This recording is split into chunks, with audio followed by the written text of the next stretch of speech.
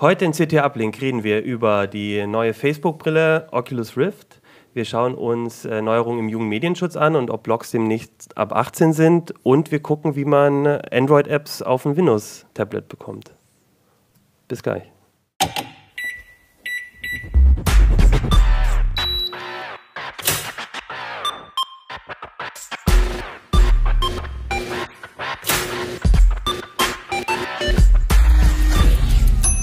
CT Uplink.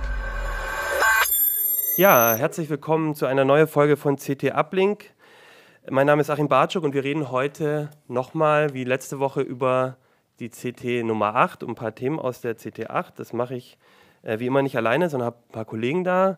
Ganz außen sitzt heute Hannes Schrulle aus dem Mobilressort. Genau. Neben dir Holger Bleich aus dem Internetressort. Und ich bin Hartmut Gieselmann aus dem Audio- und Videoressort. Okay, Hartmut, wir fangen gleich mit dir an. Ja. Ein Thema, das wir äh, letzte Woche, wir haben letzte Woche über die Steambox geredet und da gab es ja auch einen Artikel über äh, Spiele für die ähm, Oculus Rift, die haben wir heute auch dabei. Du kennst dich ganz gut damit aus und diese Woche ist ähm, äh, eine Nachricht gekommen, eine ziemlich überraschende, wie ich finde, dass äh, Facebook die gekauft hat für zwei Milliarden.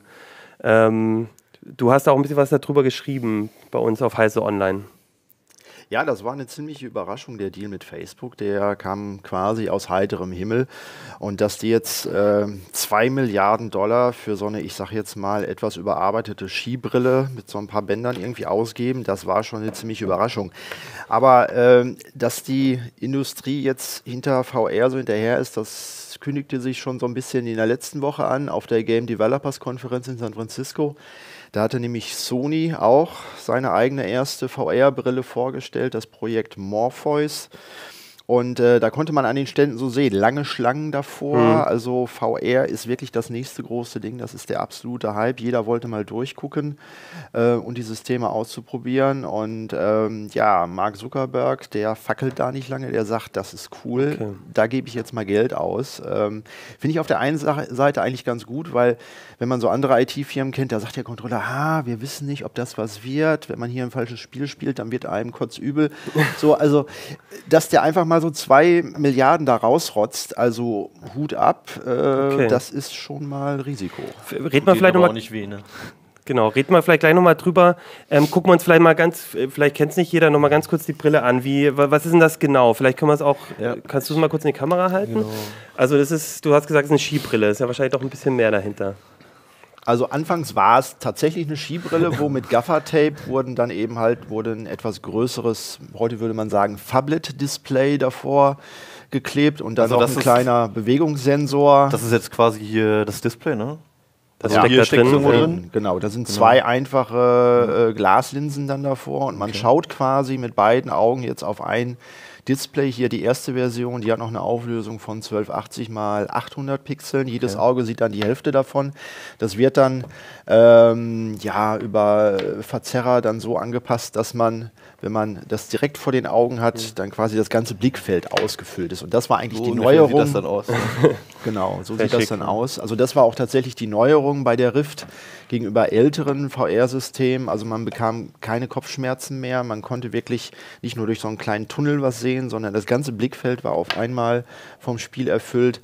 Jetzt die ersten Versionen, ähm, da verwischt das Bild noch, wenn man den Kopf ein bisschen schnell bewegt und die Bildauflösung ist auch, wenn man sich vorstellt, so, äh, was haben wir, äh, 800 Pixel mal 640 Pixel, wenn man die auf das komplette Seefeld irgendwie aufweitet, dann sieht man doch jeden einzelnen Punkt noch. Also und mir fällt gerade auf, ich habe die jetzt seit langer Zeit das erstmal wieder in der Hand. Die sieht so massiv aus, aber die ist echt sauleicht, ne? Ja, das ist einfach Plastik. Ja, das ist ja, stimmt. Ein paar Strippen dran. Ja. Sonys Projekt Morpheus, also eins muss man ja Sony lassen, die sieht deutlich cooler aus. Die hat vorne blaue Lichter, das Ganze sieht sehr futuristisch aus. Ähm, und auf der GDC hat Oculus jetzt ja auch eine neue Version vorgestellt. Die hat eine etwas höhere Auflösung, aber was vor allen Dingen äh, an, dem, an der neuen Brille besser ist, ist, ist ein OLED-Display und jedes einzelne Bild wird immer nur für drei Millisekunden beleuchtet, sodass wenn man den Kopf schnell schwenkt, dann verschwimmt da nichts mehr und es wird mhm. einem nicht so schnell übel. Das ist wirklich bei vielen Spielen momentan auch das Problem. Die Spielehersteller äh, testen sehr viel aus, was geht in VR, was geht nicht. Die meisten Videospiele sind dafür einfach zu schnell, es passiert zu viel und nach zehn Minuten denkst du, boah, ich muss das Ding absetzen. Also da muss noch sehr viel entwickelt werden, auch wenn die Hardware schon ziemlich weit ist. Aber bei den Spielen, da ist noch sehr viel zu tun. Also ich glaube nicht mehr, dass das dieses Jahr was wird. Mit, mit, der, mit der mit der Brille? Mit der, mit der weder, weder, mit der Rift noch, ich denke, auch Sony. Die werden jetzt erstmal gucken, was die Entwickler machen. Sony muss beim Display noch ein bisschen nachlegen, bei denen verwischt die Sicht immer noch, wenn man okay. den Kopf bewegt. Bei Oculus Hat, Also dieser mehr. Schwindeleffekt, den man da hat, diesen Simulationskrankheit, glaube ich, heißt es, ne? Ja. Hat das mit dem Verwischen zu tun? Oder das hat damit zu tun, dass man es eigentlich nicht gewohnt ist, wenn man den Kopf bewegt, dass das Bild, was die Augen mhm. wahrnehmen, dann erst, äh, ich sag mal, 30 Millisekunden später kommt. Mhm. Äh, und da müssen die, äh, die, die Verzögerungen, die Latenzen, die müssen noch möglichst äh, runtergebracht werden. Ähm, und äh, auch das die Bewegung, also wenn ich meinen Kopf bewege vor und zurück zur Seite, mhm. das muss wirklich bis auf die Nachkommastelle bei den Parametern angepasst werden. Wenn ich da äh, falsche Augenabstände habe, falschen äh, Drehwinkel um meinen Nacken herum, äh, dann wird mir ganz schnell ganz übel, weil ich bin das nicht gewohnt. Das ist dann so ein bisschen, als wenn man sich auf dem Schiff bewegt. Mhm. Ähm, und ähm, Gut, aber es ist ja wahrscheinlich was, was technisch lösbar ist ja. und vielleicht also würdest du sagen, so aus deiner Einschätzung, ich meine, es war ein Kickstarter-Projekt, mhm. wo ähm, quasi davon gelebt hat, dass Leute da gesagt haben, wir wollen das haben, wir investieren da rein. Ähm, jetzt haben die sehr, sehr viel Geld natürlich in die Hand bekommen. Würdest du sagen, ist das was, wo, wo der Brille jetzt vielleicht auch hilft, dass sie technisch eben an diese, diese Feinheiten hinbekommen, weil sie jetzt einfach das Kapital dafür haben? Oder das, ähm. das denke ich schon. Also ich schätze Oculus auch so ein, was die bisher in den anderthalb Jahren auf die Beine gestellt haben. Das hat alles Hand und Fuß. Auch die Leute, die äh, der Chef Palmer Lucky da um sich geschart hat, die haben alle echt Ahnung. Also er hat John Carmack als Leiter der, der technischen Entwicklungsabteilung, er hat von Valve Software einige Experten rübergeholt und die wissen schon tatsächlich, was sie tun, auch wenn man sich dieses SDK hier anguckt. Ja, also, also die Entwicklerumgebung. Äh, das, das, ist ja quasi die Genau, das ist eigentlich nur für Entwickler. Genau, es gibt ja. für Consumer gibt es ja noch nichts. Genau. Das hat alles Hand und Fuß, das schließt man an, es funktioniert. Das hat man bei ganz vielen anderen Geräten hat das nicht und das wird auch wahrscheinlich Mark Zuckerberg gesehen haben, dass dieses kleine kleines Start-up da, dass das alles wirklich Experten in dem Gebiet sind und dass, wenn er sich da einkauft, dann spart er einfach ein, anderthalb Jahre Entwicklungszeit, was ja heute sehr, sehr viel ist. Äh, wer zuerst rauskommt, mal zuerst. Und deswegen hat er da sein Portemonnaie aufgenommen. Eine Frage: äh, Sony hat ja nun sein eigenes Ökosystem, vor allem halt mit der PlayStation mhm. und so. Ähm, die Brille von, von Sony ist dann so gedacht, dass sie dann nur auf der PlayStation 4 funktioniert, oder? Sony hat natürlich sein PlayStation-Brand, das wird dann erstmal nur mit der PS4 dann laufen, aber Sony arbeitet ja auch daran, äh, ihr ganzes Spiele-Ökosystem nur noch als Dienst zu verkaufen, der dann, das soll dann gestreamt werden auf alle Sony-Fernseher, auf alle Sony, weiß ich nicht, Blu-ray-Player, Set-Top-Boxen. Also, dass ich mir speziell eine, eine, Hardware, eine Konsole oder irgendwie was kaufen muss und nur darauf spielen kann. Ich glaube, das ist ein Modell, was langsam ausstirbt. So, und äh, alles wird ja virtualisiert, alles kommt nur noch aus der Cloud, alles wird gestreamt.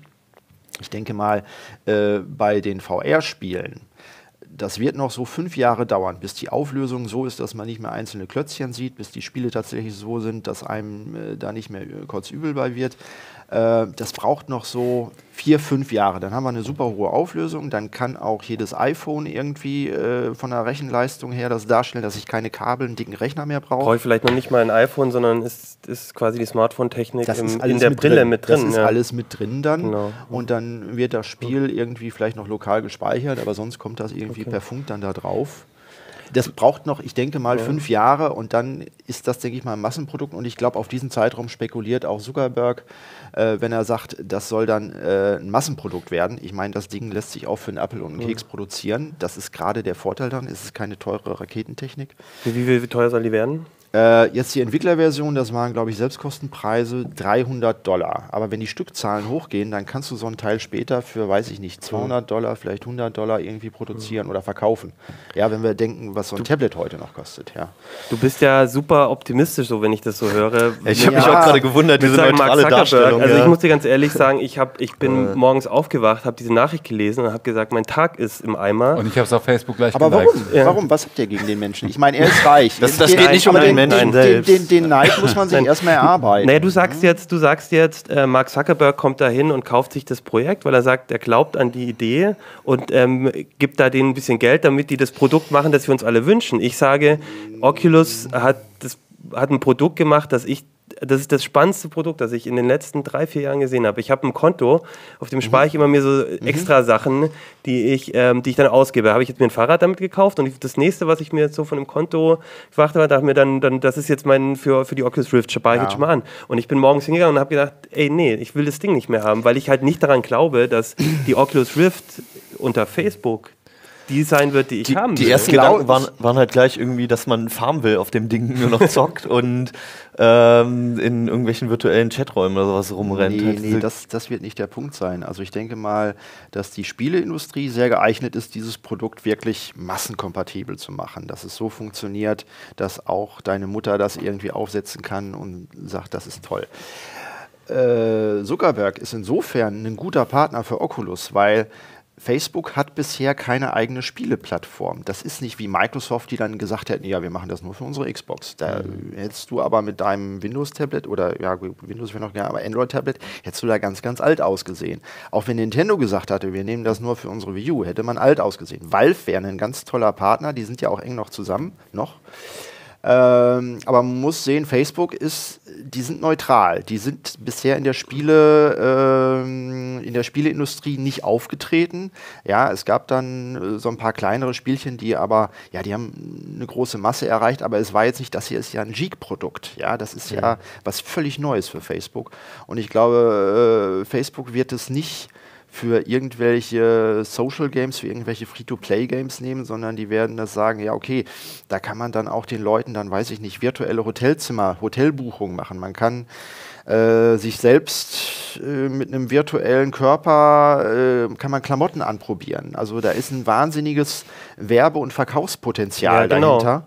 Aber genau das, genau das, das, das ist, das ist mein Problem. Ich, also bei mir momentan funktionieren für mich die, die, also für mich funktionieren Spiele so, dass ich, ähm, wenn ich, ein, ich habe ein, eine Konsole oder einen Rechner und ich kaufe mir ein Spiel und dann habe ich das gekauft und das ist das Produkt und das benutze ich jetzt. So funktioniert für mich eine Konsole. Mhm. Und Facebook funktioniert für mich so. Ich benutze einen Dienst kostenlos, weil ich das Produkt bin. Meine Daten, kostenlos. ich werde verkauft an irgendwelche Werbepartner. Und genau das ist das Geschäftsmodell von Facebook.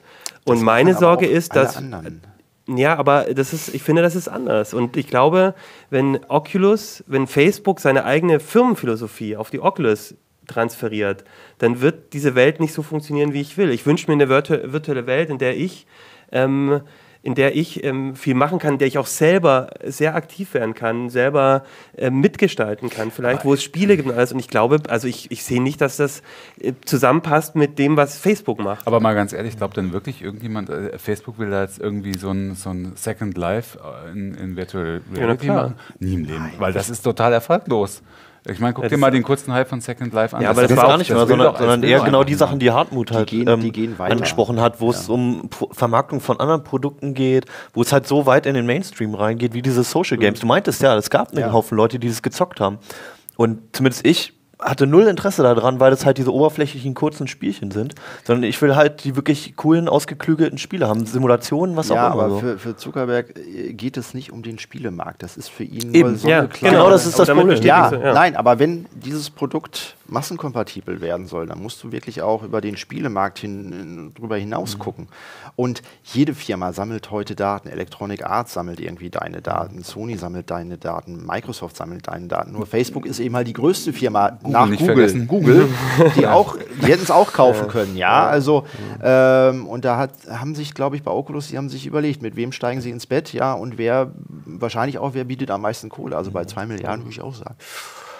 Ja, ich, klar, hoffe, du, ich hoffe, du hast recht. Vielleicht ist ja auch nachher die Lösung, dass ähm, Facebook das Ding bezahlt und dann hauen wir uns alle, dann jailbreaken wir die und hauen irgendwie ein SteamOS drauf und haben dann trotzdem ein günstiges Produkt mit, mit einer eigenen Oberfläche oder so. Ich weiß Vielleicht es nicht. ist ja auch erst der Anfang und Facebook will viel weitergehen, will wirklich äh, Spieleplattformmäßig äh, einsteigen. Und, und, vielleicht ist es ja auch erst der Auftakt zum Kauf von Steam oder sowas, wer weiß es. Ja, aber es wird auch nicht die einzige Brille bleiben. Also mhm. Sony ist jetzt erst der erste Große, der gesagt hat, wir machen das auch. Man kann davon ausgehen, Nvidia sowas sicherlich in der Pipeline drin. Microsoft macht auch irgendwie was. Ja, es wird, denke ich mal, in fünf Jahren, wenn das Ding so weit ist, dass es wirklich ich sage jetzt mal, mehr als nur äh, 100.000, 200.000 Hardcore-Spieler irgendwie interessiert. Äh, da wird es so sein, dass wir eine ganze Palette von 10, 20 Anbietern haben werden, die äh, solche virtuellen Skibrillen äh, verkaufen. Ja. Du hast ja vorhin gesagt Rocket Science, also eins würde mich schon noch interessieren. Dieses Konzept wirkt jetzt erstmal so, als könnte man es sehr leicht gut oder besser nachbauen, wenn man, wenn man genügend äh, Power hat dahinter. Also wenn, wenn ich zum Beispiel Sony bin oder wenn ich Nvidia mhm. bin oder so. Das heißt, äh, dieser, dieser Vorsprung, den Sie jetzt haben, der wird ja wahrscheinlich ziemlich schnell verschwinden, oder? Ich denke mal, vor Sony haben Sie, bei der Displaytechnik haben Sie etwa einen Vorsprung von einem Jahr, vielleicht einem halben Jahr. Doch so, so viel. So, Sony, Sony, ist sehr weit vorne, was äh, die äh, Controller angeht. Die Move-Controller sind also sehr gut geeignet für VR. Auch das Design ist das sehr gut geeignet. Das sind diese Dinger mit den bunten Bällen drauf. Genau, mit den bunten Bällen. Das, äh, sowas hat äh, Oculus derzeit noch nicht. Es gibt noch keinen vernünftigen Controller. Six Sense hat jetzt was auf der GDC gezeigt, was aber noch zu teuer ist. Die GDC und ist ähm, ganz kurz ähm, Developers Conference. Also genau, eine Entwicklerkonferenz für Gamer für, und die war für Spielentwickler. Die war jetzt ne letzte Woche mit über 20.000 Teilnehmern in San Francisco. Ist einmal im Jahr da. Gibt es auch hier in, in Europa vor der Gamescom findet das immer statt. Jedenfalls, also da müssen Sie noch nachlegen. Äh, und bei den Spielen. Sony hat sehr, sehr viele eigene Spieleentwicklerstudios mit die besten der Welt, die dann auch die Spiele darauf abstimmen können. Und darauf wird es drauf ankommen. Die Software ist das Wichtige. Mhm. Die Hardware, gut, man muss kurze Latenzen hinkriegen. Da hat der John Carmack hat da auch äh, einige tolle Ideen so. Aber es gibt noch andere schlaue Köpfe, die sowas nachbauen können. Hardware macht es heute nicht mehr. Die Software ist das Entscheidende. Mhm. Gut, also und dafür brauchen sie natürlich auch wirklich starke Partner. Ne? Das ja. ist klar. Ja. Also von, von, wegen dieses Know-how und so weiter. Wir haben halt auch schon Beispiele gesehen ähm, von, von Fricklern, die aus dem 3D-Drucker sowas ähnliches gedruckt haben, beispielsweise wie eine Halterung für ein Smartphone mhm. einfach und dann mit einer Smartphone-App gearbeitet haben. Ja. Und ähm, das hat zumindest auch funktioniert, haben dann die Sensoren von dem Smartphone verwendet mhm. und so und sah nicht ganz so schick aus vielleicht, aber an sich hat das auch funktioniert und das waren halt ein paar Hobbyentwickler. Ne? Ja, und die Technik muss ja erstmal, ich meine, die muss erstmal an den Markt kommen und sich dort beweisen. Bisher mhm. hat Oculus davon 70.000 Stück verkauft, also nimmt man jetzt mhm. mal 300, die haben noch nicht so den Umsatz gemacht. Es kann auch war halt sein, auch noch nicht aufs Publikum mhm. abgezielt, sondern es, auf die Entwickler. Es war der Hype bei uns Technikmagazin Magazin und mhm. in Technikkreisen. Ja, aber äh, wenn ich beim nächsten Familienfest äh, meine Tante frage, hier kennst du Oculus Rift, da sagt die, was? Aber so, das muss erstmal. Aber wir hatten ja äh, äh, hier war in der Firma ja Zukunftstag gestern. Da waren ähm, äh, junge Mädels und Jungs und haben sich unseren Betrieb angeguckt. Und das Highlight für die war ähm, mit großem Abstand. Wir haben mit denen die Oculus Rift mit, äh, mit so einer ähm, Achterbahnfahrt mhm, gemacht. Und die mhm. saßen alle drin und die haben sofort gesehen, wie cool das ist. Ja. Und, und das, also dieser Effekt, also klar, der, der ähm, das, die Wahrnehmung ist noch nicht so da, aber diesen Effekt, diese Brille, nicht nur auf mich und dich, also ich habe das Ding angezogen und dachte, endlich ist es, endlich haben wir VR, wo ich ja. eigentlich schon sehr lange träume. Aber wirklich, ja. dass halt auch ein zwölfjähriges Mädel, das eigentlich jetzt nicht Heise liest oder die CT liest, dass die total gefangen wird davon. Also das fand mhm. ich schon sehr beeindruckend und es zeigt mir, glaube ich, dass es auch wirklich eine große ein großes Thema werden wird. Das ist es. Und mhm. der, der Trick bei Oculus war, dass sie eben halt Standardbauteile aus der Industrie genommen haben, haben die mit Gaffertape zusammengeklebt mhm. und dann hat es funktioniert. Aber das heißt auch, andere Firmen werden das auch nachbauen können, wenn jetzt nicht die okay. Patente da machen.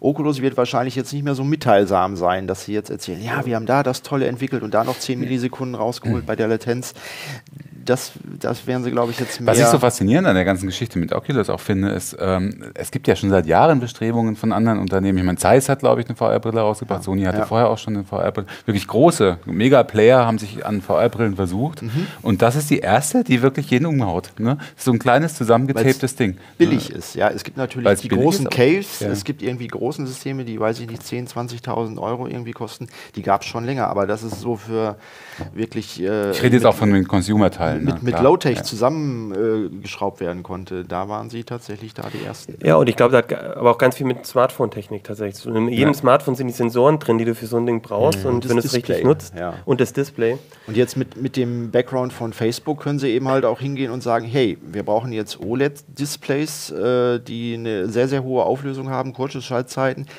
da mieten wir uns einfach mal eine Fab, dann äh, eine Produktionslinie selbst an. Das konnten sie vorher eben halt nicht machen. Mhm. Deswegen, das wird das beschleunigen. Na gut, da, ich bin da ein bisschen skeptischer, was das für Auswirkungen hat, aber na gut, wir werden es sehen. Ich würde sagen, ich finde jetzt keine gute Überleitung, aber einen harten Sprung. ein harter genau. Sprung von ja. aus der Spielewelt in, in die Welt der Politik und. Wobei so äh, verschieden sind die Themen. Ja, vielleicht auch nicht. Ähm, der Staat hat wieder am Jugendmedienschutz rumgebastelt, Holger. Sehe ich das richtig? Oder? Ja, die sind gerade dabei. Also was heißt der Staat? Das, ist, das äh, Dumme in Deutschland ist ja, finde ich, für meine Begriffe, ist, dass Jugendmedienschutz, genauso wie die ganze Bildungspolitik auch ja leider nicht Bundessache ist, sondern Ländersache. Das heißt, da müssen sich immer alle Bundesländer zusammenraufen und einen Konsens finden. Also einen kleinsten gemeinsamen Nenner. Und der ist jetzt wieder mal rausgekommen. Die, sind, die haben das das letzte Mal, ich muss dazu sagen, vorweg, äh, die Regelung, die wir jetzt haben für den Jugendmedienschutz, also alles, was Jugendschutz in, im Internet angeht, ist von 2003. Das ist der Jugendmedienschutzstaatsvertrag. Also MSTV heißt der. Das ist so ein, so ein Staatsvertrag, den die Länderchefs untereinander Und, und der regelt quasi den Zugang oder wie man den Zugang gestaltet für Kinder der, zum Internet. Der regelt zum Beispiel, für welche Inhalte es wirklich ein hartes ab 18 Schutzsystem bedarf, also zum Beispiel harte Pornografie oder was entwicklungsbeeinträchtigende Inhalte sind, äh, die also das sind eher softere Inhalte ab 16 Inhalte, ne, die aber Kinder ab 12 nicht unbedingt zu sehen bekommen sollten. Da gibt es verschiedene Paragraphen, wo das jeweils geregelt ist und dann gibt es halt verschiedene Schutzmechanismen und die kennen wir alle, die sind hochgradig lächerlich teilweise. Also es heißt natürlich, es gibt diese harten, diese harten Barrieren, wo man seinen Ausweis einschicken muss oder sowas, klar. Dann gibt es aber auch softe Barrieren, wo man, äh, wo man sagen muss, äh, wo man klar sagen muss, dass hier kommt äh, Inhalt ab 16, ne, wegbleiben oder. Ähm, das wirkt immer sehr gut. oder einen Ausweis oder zumindest eine Ausweiskopie einschicken. Nein, das ist nicht so wie, wie zum Beispiel äh, jetzt bei, bei diversen amerikanischen Pornoportalen, dass du einfach sagen musst, ja, ich bin 18. Nee, so ist es nicht. Naja, also, im deutschen Fernsehen, schon, also äh, als Jugendlicher, wer, wer, hat da weggeschaltet, wenn man noch nicht 16 ist? Ja, na klar, das ist total lächerlich. Und jetzt, ja. und deswegen äh, weil das auch niemand macht und das gibt es ja auch im Web kaum. Diese Sperren gibt es noch die komische Sendezeitbegrenzung. Es liegt daran, dass der, ähm, der ganze Jugendmedienschutz aus dem Rundfunkbereich kommt und auch immer noch aus dem, im Rundfunkbereich geregelt wird, lächerlicherweise. Ähm, das heißt natürlich, dass zum Beispiel, wenn, wir kennen das alle, die, der, der Sonntagstatort in der Mediathek ist meistens äh, ab 12, das heißt, der darf dann auch erst ab 20 Uhr geguckt werden. Inhalte ab 16. teilweise gab es ja auch Tatorte, die äh, auch im Fernsehen erst ab 10 mhm. kommen durften, die durften im Internet auch erst von äh, ab 10 angeschaut werden in der Mediathek und sogar mhm. Inhalt ab 18 sogar erst ab 23 Uhr. Das ist natürlich total lächerlich, weil ein Klick weiter sind die harten amerikanischen oder, oder sonst aus anderen Ländern mhm. Pornoportale, wo du, äh, wo du überhaupt keine es sind, hast. Es sind eigentlich ne? Gesetze, die für das Medium Internet überhaupt nicht geschrieben wurden, oder? Sondern, nein. Sondern nein. halt für die alten Medien, für man sollte ja denken, Man sollte ja denken, 2003 gab es ja nun auch schon ein Web dass sie ja. da wenigstens langsam angefangen haben zu lernen.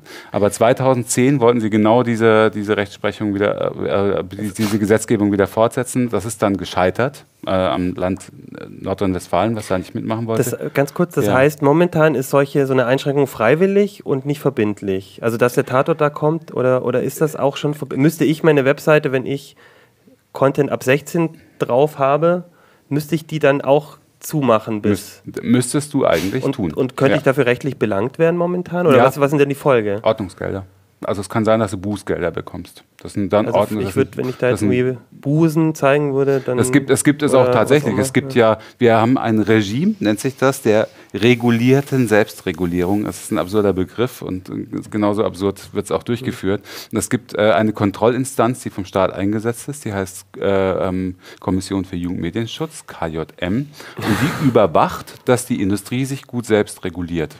Das heißt, solange Google einen Safe Search Filter hat, der natürlich jederzeit abschaltbar ist, auch von jedem Kind, ähm, reicht das, okay. sagt die Kommission. Und wenn andere, äh, die eine Krähe hackt, der andere kein Auge aus. Man, man kann ja. dort bei der KJM Mitglied werden, dann hat man gewisse Vorzüge. Und also ich wollte gerade fragen, wer sitzt denn da drin natürlich. in diesem Gremium, in dem Kontrollgremium? Äh, das sind äh, äh, aus, aus verschiedenen Bereichen, zum Beispiel aus der Industrie. Äh, okay. Mitglieder. Dann gibt es die FSM. Das also unter anderem auch Leute, die, die selber kontrolliert werden quasi sitzen in diesem Gremium. Nee, das, die sitzen oder? in der FSM. Ach so. Das sind die in der KJM, die in der KJM, die in der KJM okay. sind tatsächlich wirklich äh, äh, Staatsbedienstete. Bevor die, wir da jetzt auch zu tief ja, reingehen, okay, glaube ich. Ähm, ich könnte äh, auch aber, zwei Stunden Ja, ich, ich, ich merke das schon. Aber ähm, äh, die Sache, die, der, also für mich ist sehr spannend, also ich, mich hat das irgendwie gefühlt noch nie betroffen, ja. aber jetzt gibt es wohl Änderungen, die könnten mich betreffen, wenn ich das richtig Im verstanden habe. Im Grunde genommen ändert sich oder soll sich gar nicht so viel ändern, was ja auch das Absurde ist. Ähm, also es ist so, dass es noch eine Möglichkeit gibt, dem Jugendschutz Genüge zu tun. Die gibt es eigentlich schon jetzt. Das soll jetzt nur noch mal festgeschrieben werden. Eine große Änderung wird das gar nicht werden, okay. komischerweise. Das heißt, du kannst, du kannst einen unsichtbaren, ein unsichtbares Bepperle auf deiner Webseite machen. Ähm, das ist ein XML-Code, ne? okay. also wirklich, der ist nicht sichtbar, aber der kann von Programmen ausgelesen werden. Und da kannst du sagen, meine Seite ist erst ab 12 oder meine Seite ist erst ab 18. Damit würdest du jetzt dem Jugendschutz auch Genüge tun, weil es zwei Programme gibt, laut KJM neuerdings seit Mitte letzten Jahres, ähm, die, die in der Lage sind, diese Label auszulesen. Und es gibt die theoretische Möglichkeit für Eltern, diese Programme einzusetzen, um ihre Kinder vor diesen Inhalten zu schützen. Das macht zwar machen kaum Eltern. Also sind aber, Filter aber, aber damit ist dem Jugendschutz genügend genau. getan. Das heißt, du also musst, das du musst auch keine, Web, keine, keine, ähm, keine Sendezeitbeschränkungen mehr machen. Es reicht, wenn du diese Aufkleber, die garantiert niemals, niemals jemand ausliest, aber egal, wenn die drauf sind, hast du dem Jugendschutz Gut, aber das, aber also es wäre im Prinzip, also ich kenne das so vom iPad. Ne? Beim iPad ja. kann ich, muss ich bei Apps, gibt es halt auch so Altersbegrenzungen, auch bei Filmen und so, und dann ist aber das System sorgt dafür, dass, ähm, dass du dort eine Einschränkung machen kannst. Ich finde es an sich, also das würde bedeuten, dass wir alle so ein Ding auf unsere Seite unsichtbar posten müssen und dann ist es da. Ja, aber äh, ist es wirklich so schlimm? Weil ich meine, auf der anderen Seite, du, du sagst jetzt so, dass es so, so lächerlich ist, aber auf der anderen Seite irgendwie, irgendwie muss man sich ja schon überlegen, wie man so einen Jugendmedienschutz macht. Also ich finde es schon richtig zu das sagen, ist genau, dass man. Ja, das ist das Dilemma. Wer hat denn Interesse jetzt an dieser Änderung? Wer steckt denn dahinter? Frage 1, Frage 2. Ja. Das ist tatsächlich das Dilemma. Also der Staat hat ja auch den Auftrag, der ja. ist auch grundgesetzlich geregelt, der Staat hat, hat äh, die Kinder zu schützen. Ne? Also das ist nicht nur Aufgabe der Eltern, sondern auch Aufgabe des Staates so. Und der Staat versucht eben auf solche Weisen dem Genüge zu tun, ohne die Nutzer zu sehr zu belasten. Ne? Ähm, hier ist es natürlich, also in dem, in dem konkreten Fall, das mit den Aufklebern ist äh, eindeutig getrieben von der Erotikindustrie, von der deutschen Erotikindustrie. Die sind übrigens, die stecken übrigens auch hinter dem wichtigsten Filterprogramm, was jetzt, äh, was jetzt, was jetzt genehmigt wurde. Ja. Die haben das eigentlich mitentwickelt. Ja. Zwar über eine, über eine Tochterfirma, aber das heißt, die wollen unbedingt, dass es so ein Filterprogramm gibt, wie es vorgesehen ist, ähm, und dass man diese Label setzen kann, weil dann, haben, dann können sie die Sendezeitbeschränkung aufheben. Im letzten Jahr, Mitte letzten Jahres, als das erste Programm genehmigt wurde, mhm. dass, es, dass es auch solche ab 18 Beppel auslesen ja. kann, dass es funktioniert, haben sofort alle ihre Sendezeitbeschränkungen, die, die es interessiert, mhm. aufgehoben. Weil natürlich haben die einen riesen Wettbewerbsnachteil. Es ist ja auch absurd. Ne? Wir sind hier, wir sind doch keine einsame Insel im Web. Also, das heißt, der Gesetzentwurf zum Jugendschutz wird nicht vorangetrieben von Kirchen, Jugendschutzverbänden auch, auch. Äh, und so weiter, sondern von der Erotikindustrie, die sich dadurch einen Persilstein erhofft. Genau, genau. Okay. Wir nennen das immer, ich habe das auch in Artikeln schon öfter so gesagt, ein Feigenblatt. Das ist ja. nichts anderes als ein Feigenblatt, aber ähm, im Grunde genommen, wenn du nicht ganz hart auf Netzwerkebene eingreifst, mu musst du kapitulieren, weil du kannst mit solchen Insellösungen kommst du ja auch nicht weiter. Im Grunde genommen hilft da nur eine chinesische Firewall, wenn du wirklich, wenn du wirklich die für alle Familien die schädlichen Inhalte mhm. in Anführungszeichen, ob die nun wirklich alle entwicklungsschädigend sind, sei mal ja, eingestellt. Okay. Ne? Aber um die wirklich fernzuhalten, musst du zu viel drakonischeren Maßnahmen greifen eigentlich. Vielleicht noch als letztes wäre für mich jetzt die Frage, wenn das jetzt so verabschiedet wird, also erstmal, wann würde das, oder wie, wie, läuft das jetzt zeitlich weiter? Und wenn das verabschiedet wird, was heißt das für mich, wenn ich jetzt eine Webseite habe? Also ich habe ein privates Blog zum Beispiel, heißt das, ich muss sowas dann machen und wenn ich es nicht mache, kann ich dafür bestraft werden oder wie, wie sieht das genau aus? Das nennt sich nicht Strafe, nennt sich Ordnungswidrigkeit. Okay. Aber klar, das, du kannst natürlich äh, zur Verantwortung gezogen werden unter Umständen. Ähm, Im Moment gilt diese Regelung noch nicht. Das ist jetzt der erste Entwurf. Die haben lange ihre Wunden geleckt und jetzt haben sie wieder einen neuen Entwurf gebracht. Und der soll aber Ende 2014, Anfang 2015 verabschiedet ein Gesetz werden. Und das würde dann bedeuten, äh, dass es zwei Altersstufen gibt, ab 12, ab 18, mit denen du solche Aufkleberchen dran machen musst. Äh, du, es gibt ein, eigene, äh, so ein eigenes Klassifizierungstool, damit kannst du, kannst du es ungefähr einordnen, taxieren. Meine Seite ist vielleicht eher ab 12 oder eher ab 18, je nachdem, was ich für Inhalte habe. Also die Stufe ab 16 fällt mhm. weg, die gab es bislang, die würde dann wegfallen. Okay.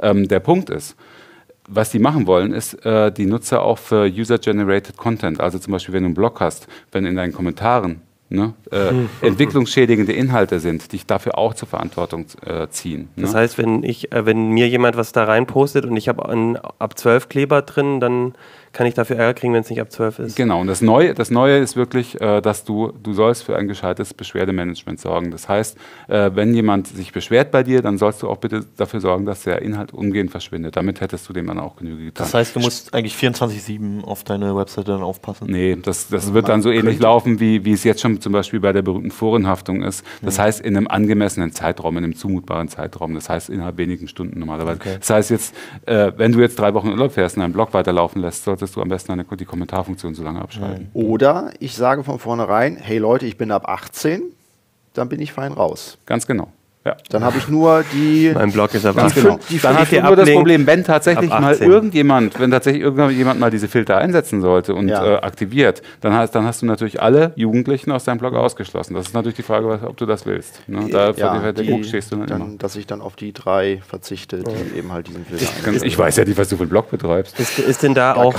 ähm, also was für mich noch viel spannender ist, ich meine, wo kein, momentan wird ja, scheint ja auch ähm, kein Kläger da zu sein. Aber wenn du Voranhaftung und sowas sagst, dann denke ich ja auch an sowas wie Abmahnwellen oder so. Mhm. Wäre sowas auch denkbar, dass dann irgendwelche findigen Leute damit Geld verdienen können, mich und dich ähm, mit unseren Webseiten abzumahnen, weil wir irgendwie das nicht richtig ausgezeichnet haben? Nein, äh, wenn, solange du de, deinen Blog privat betreibst. Wenn es ein Business-Blog okay. ist, dann sieht es ein bisschen anders aus, weil äh, dann kann es natürlich unlauterer Wettbewerb sein.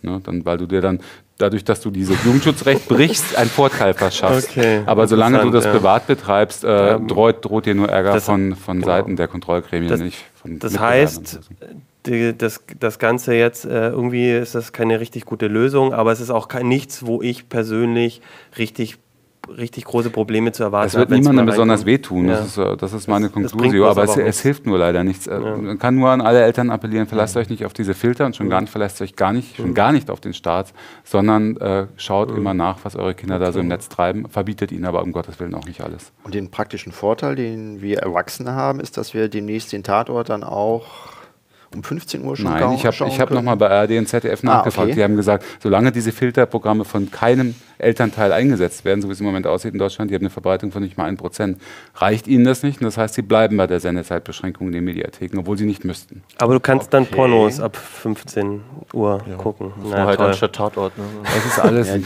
ja bisschen lächerlich. Okay. Na gut, spannend. Also das heißt, ähm, weiter auf Heise Online gucken, was du so Bericht erstattest darüber. Da wird es spannend weitergehen. Ja, okay. Dann kommen wir noch mal einmal zuletzt zur CT zurück. Da ist nämlich ein Artikel, der ein bisschen weiter hinten ist und trotzdem finde ich ganz ähm, spannend. Hinten stehen ja manchmal die ähm, so ein bisschen die Praxisartikel eher, aber die ein bisschen spannender sind. Und zwar, Hannes, hast du etwas gemacht. Ähm, du hast Android auf Windows-Tablets genau. zum Laufen gebracht. Also ich habe ein bisschen gebastelt, wie man sieht. Ich habe hier so ein Microsoft Surface gerade da typische Windows-Oberfläche ne, mit den Kacheln und so. Kann man von halten, was man will. okay. ähm, und normalerweise hat man halt das Problem, dass man, dass diese Oberfläche mit den Kacheln so, das ist alles ganz nett zu bedienen mit Touch. Ähm, aber bei den meisten Programmen springt er halt immer noch auf den Desktop und der macht das jetzt noch nicht mal das. Aber normalerweise springt Oder man auf den klassischen Windows-Desktop und man hat das Problem, dass man keine Maus und Tastatur zur Hand hat genau. und das unterwegs einfach ätzend ist. Und viele Anwendungen einfach nicht für Touch angeht, obwohl Microsoft genau. das will, viele Anwendungen, da finde ich auch. Also in dem Store ist noch nicht so richtig ja. viel drin. So, und die Idee war dann einfach, ähm, Android auf diese Windows-Tablets zu bringen, auf verschiedene Arten und Weisen. Ähm, eine Idee ist zum Beispiel, es gibt Android ja für x86-Prozessoren, für die Intel Atoms zum Beispiel. Die ROMs sind frei im Internet, die kann man sich runterladen. Und dann gibt es aber auch noch Emulatoren, die halt direkt unter Windows laufen, ähm, die man einfach unter Windows startet und das Betriebssystem dann auch parallel benutzen kann. Sprich, du hast irgendeine geile Android-App, die du normalerweise benutzen willst auf dem Candy Tablet. Crush. Mhm. Candy Crush, genau, Angry Birds und alle anderen Spiele. und ähm, willst aber trotzdem halt deinen Surface zum Beispiel zu Hause als Rechnerersatz benutzen oder so einen Bildschirm anschließen oder Office halt noch und ähm, wird es dann halt hin und her schalten. Und ein Beispiel habe ich jetzt hier drauf. Also wie gesagt, man kann das Android einfach installieren. Das ist ziemlich kompliziert ja. und ziemlich groß. Ja. Genau, wir haben hier noch eine extra Kamera. So. Oh, sehr schön. Und das Programmchen, was ich jetzt aber hier habe und was eigentlich am coolsten war, nennt sich BlueStacks. Ist wieder eine Desktop-Anwendung. Das heißt, das Surface springt erstmal in den wunderschönen Desktop rein. Braucht dann ein bisschen zum Laden. Und was BlueStacks von den anderen Emulatoren und Lösungen unterscheidet, ist, dass es keine vollständige Android-ROM ist. Man hat da jetzt nicht den Desktop mit Sperrbildschirm und Notification Bar etc., sondern ähm, einfach nur, das ist so eine Art App-Player. Also man lädt da die Apps rein, beispielsweise, das ist hier der Hauptbildschirm davon, beispielsweise über Play oder halt über die Stores, die hier vorinstalliert sind. Oder man lädt sich eine APK-Datei runter, also diese Installationsdateien für Android, ja. Genau, für die Apps. Und hat dann hier so eine ziemlich übersichtliche Übersicht, ähm, die auch ganz gut mit Touch zu bedienen ist. Man sieht hier schon, ich habe hier ein paar Apps vorinstalliert. Flappy Bird! Und ja, Flappy Birds, ja, Yippie, habe ich nicht installiert. Oder andere Klassiker, zum Beispiel Angry Birds hier. Also es startet halt innerhalb von ein paar Minuten. Ich könnte hier jetzt auch innerhalb von ein paar, paar Minuten. Minuten. von ein paar oh, Minuten. aber nee, aber wenn es einmal gestartet ist, ist es halt da. Okay. Und ähm, Performance ist auch eigentlich ausreichend, um mal ein Spiel zu spielen oder ähm, welche App auch immer zu benutzen halt. Hast du ähm, Unterschiede gemerkt bei der Performance ähm, so von, dem, von der, äh, zu, zu Windows oder, oder, also ist, ist es langsamer, als wenn ich eine App auf Windows Also der Gag ist ja, es gibt ja so ein paar Programme, die auch Benchmarks, genau. die auf beiden laufen, zum Beispiel 3D Mark und man verliert so die Hälfte der Performance. Okay, also schon ordentlich. Ja. Was, was aber immer noch heißt, dass allein die Grafik-Performance halt um einiges besser ist als auf jedem Achso. Android. Ähm, Achso, na klar, weil Gerät. natürlich in den Windows-Geräten eine ganz andere. Da ist ein äh, i5 drin, ist. Ne? Das ist ein i5 drin. Das ist was anderes. Da ist ein i5 drin? Da ist ein i5 auf dem Surface, Aha. genau. Und ja, jetzt nur mal zu Demonstrationszwecken hier. Also man sieht schon, es läuft. Ah, und du hast jetzt auch, es sieht jetzt aus wie, so. ähm, also das macht Fullscreen und es sieht jetzt aus wie. Genau. Und ich kann jetzt auch zum Beispiel, also ich bin jetzt hier in dem Programm drin, kann aber auch einfach wieder auf die Kacheloberfläche zum Beispiel springen und okay. was ich was starten. Und ähm, wie stabil läuft denn die Sache? Stürzen die also, Programme ab? Oder? Also BlueStacks läuft super stabil. Ja. Da ist es kaum abgestürzt, eigentlich auch ziemlich zuverlässig. Bei den Emulatoren, also es gibt da noch so Jenny Motion beispielsweise, ähm, die laufen auch auf dem Windows Desktop, sind instabiler. Ähm, manche emulieren halt ARM-Prozessoren, die sind saulangsam. Ähm, andere laufen halt nativ wiederum auf den x86-Prozessoren. Ähm, es unterscheidet sich ganz stark und meistens ist das aber auf Developer zugeschnitten, also mhm. auf Entwickler.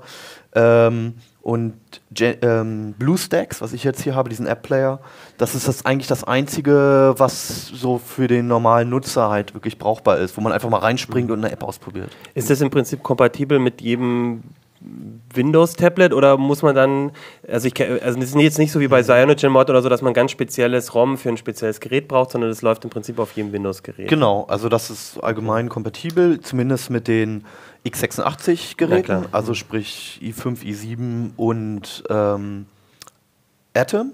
Genau. Also es gibt ja auch kleine Atom-Tablets.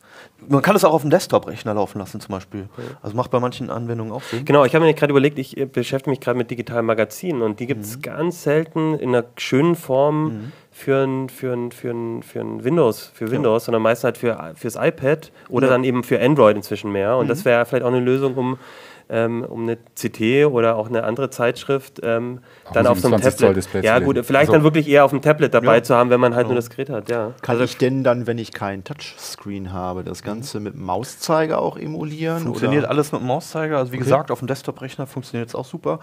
Bei manchen Spielen, also wo man dann Multitouch benutzt mhm. und so, dann funktioniert es natürlich nicht. Mhm. Aber ähm, für die meisten Sachen oder halt genau mit dem Magazin oder so, wenn ich da halt irgendwas habe, was es so nicht als PDF ja. gibt oder so, ist das eine schöne Anwendung.